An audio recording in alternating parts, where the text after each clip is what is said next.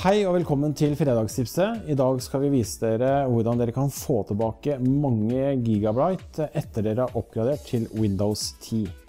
Når man oppgraderer til Windows 10, så tar Windows 10 vare på den gamle eh, utgaven av Windows. Dette tar stor plass, så for alle dere som har investert i dyre SSD-disker, er dette en veldig fin måte å få tilbake plassen på, så dere kan lagre dokumenter og filer. Når du oppgraderer til Windows 10, blir det tatt vare på den gamle Windowsen din. Og som du ser her, så kan det ta ganske mye plass. Nå skal jeg vise deg hvordan du kan fjerne den gamle Windowsen din, slik at du bare har Windows 10. Da må du huske på at du ikke kan gå tilbake til den gamle Windowsen din. Det jeg gjør da, er at jeg trykker på startknappen. Jeg bare begynner å skrive diskopprydding.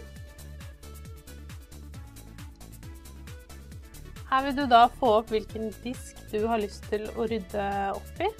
Og her velger vi C-disken og trykker OK. Da vil du få opp dette vinduet.